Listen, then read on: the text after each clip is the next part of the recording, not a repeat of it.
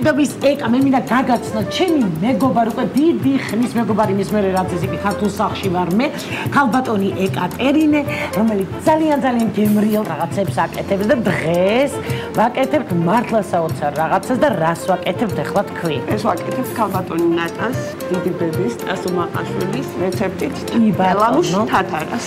ფელამუშ თათარას ტორტს მეგობრებო ტორტს და მე ძალიან მიხარია. აი ეს რეცეპტი რომელიც მართლა ჩემი დიდი დიდი ბები ის არის ქართულ სახს, ასე ვთქვათ, ვაჩუქე, იმიტომ რომ ყველაფერი ძალიან გემრიელი, ყველაფერი ძალიან ქართული და ესეთი ძველი, ტრადიციული კეთდება და ურული და კახელი შევხვდით ერთმანეთს. მე ვიძახი თათარა, არაო ფელამუშიო. რა არის ახლა ეს, როგორ გავაკეთოთ? ახლა ჩვენ ვიღებთ ლიტრა ბადაკს. აჰა. ჭადისქვილი ჭარბობს, რა თქმა უნდა, მაინც ურული. აჰა. 200 გრამი ჭადისქვილი, 60 გრამი ფქვილი. ანუ პურის ფქვილი და ჭადისქვილი ვარ ვარ ვიჭხუგოთ, ვარ ვიჭხუგოთ. ერთმანეთში გადარეული. ერთმანეთში გადარეული და შემდეგ გამოდის გადარეული უგემრიელი ტელამუში. დანარჩენი გვაქვს ნიგოზი. ნიგოზი დაუჭრელი. დაჭრილი გვაქვს ფენა-ფენა რო დავახაროთ ეს ნიგოზი და აი ეს რა არის ეს სილამაზე? ჩვენ ვაკეთებ ბოლო ფენას უკეთებ შოკოლადის გლაზურს. ნინანქარს. ალბათ ყველა დიასახლის მაიცის, მაგრამ მაინც ნახოთ თუ როგორ აკეთებს ეკა თათარა ფელამურს. ხო?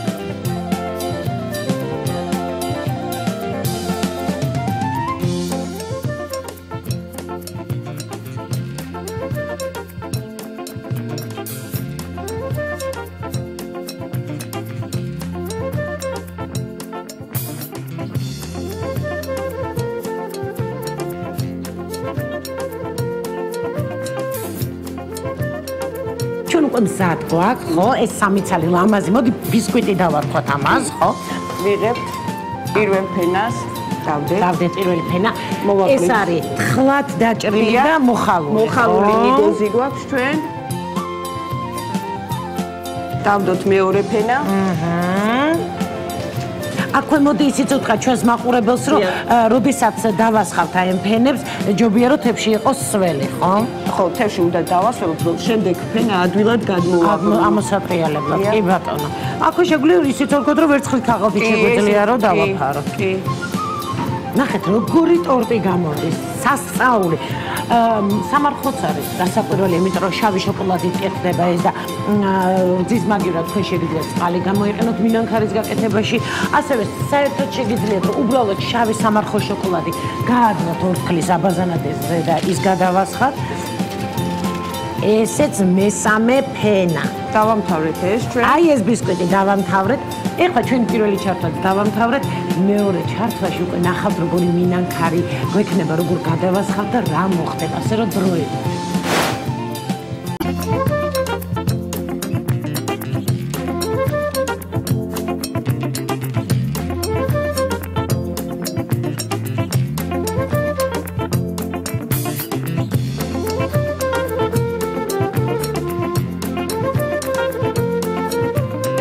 აი ასე დაგიბრუნდით ჩვენი თათარაფელამუშის ტორტი თითქმის თითქმის უკან მზად არის მინანქარიც გავაკეთეთ. გადაასხე გადაასხი და აქვე ვიტყვი იმასაც რომ ქართულ სახში შეგიძლიათ მხოლოდ და მხოლოდ მიირთვათ. აი ეს გემრიელი წინა საახალწლო ტკბილეული ექსკლუზიურად ჩემო ბატონო სხვაგან ვერსად ვერ ნახავ დიახ დიახ აი ესე გემრიელად მოვასხათ კარგად აი აქეთ იქი და სანამ ესე იგი აი ეს გემრიელობა მოისხმება მოდი უცებ ჩვენ კიდე ერთხელ შევახსენოთ რა და რა დაგჭირდა აი ამ ძალიან გემრიელი ისეთ რაღაცარი უცხო ტორტის გასაკეთებლად. მე ამას ვიძახი ტორტს, აბა რა არის? დავიწყოთ ეკა 1 ლიტრა ბადაგი. მოდი მე მოვასხავრა და შენ კიდე დაიწყე ჩამოთვლა. აი ავიღეთ ლიტრა ბადაგი, 200 გრამი ჭადისქვილი, 60 გრამი ქვილი, გავხსნით ამას ცივ ბადაგში და ვადგამ დაბალ ცეცხლზე და ჩავასქენებ სტული. გაცივდება და ფენა-ფენა ესე დავიწყებთ მოთვას. პირველ ფენას დავაყრით ნიკოს, დავადებთ მეორე ფენას და აი ახლა არის ყველაზე მთავარი. აი ეს ესე მე მიყვარს აი ამ ადგილას რომ ცოტათი იყოს შოკოლადები. ხო შეიძლება რა მივაწუწ მოვაწუწოთ რა ესე. აი ესე. და ეხლა ყველაზე მთავარი აი ამ ჩვენი ტორტის მორქვა მოკასმა. რა გავადეთ ზემოდა რამოდენიმე ლებანი? დი ბატონო ლებანი თემთელი ლებნები? პრინციპში თუ არა გვაქვს ნიგოზი და გვაქვს თხილი თხილი შეგვიძლია გამოვიყენოთ და რაც ახალწლო სუფრაზე იდება ეს იქნება შეიძლება ყურძენიც და მაგითაც გავაფორმებ პატრა კუნწულა დავდოთ ყურძნის, აი ესე. ემსე დავდე. კი, პრობლემა არა. სად დავდო მითხარი? აი აქვე დაუდოთ თქინდეთ. მოდი აი ესე აქედან და იქიდან აი ესე დაუდოთ. აი ესეც რომ მოვაყარო მეც ჩავერია ხასაკი. აი ეგაც რომ მოვაყარო ზემოდანაც რომ მოვაყარო.